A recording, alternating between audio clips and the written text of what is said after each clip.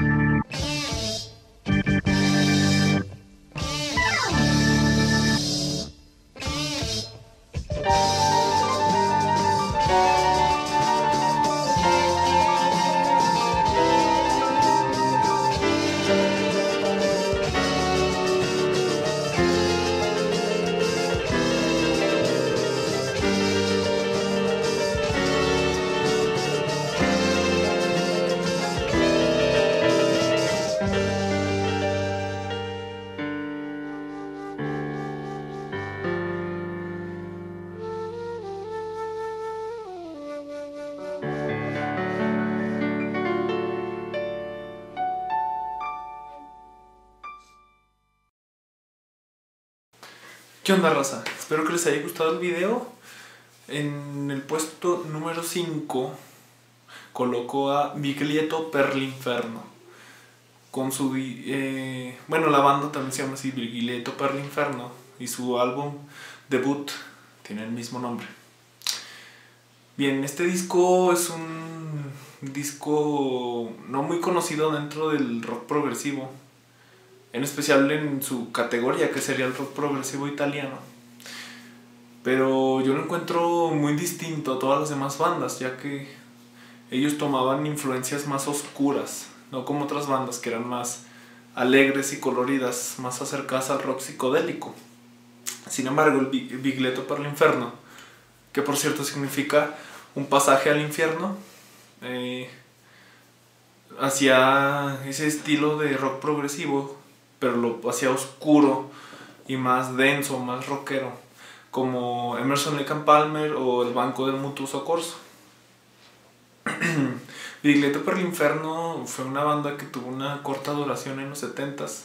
De hecho, grabaron dos discos.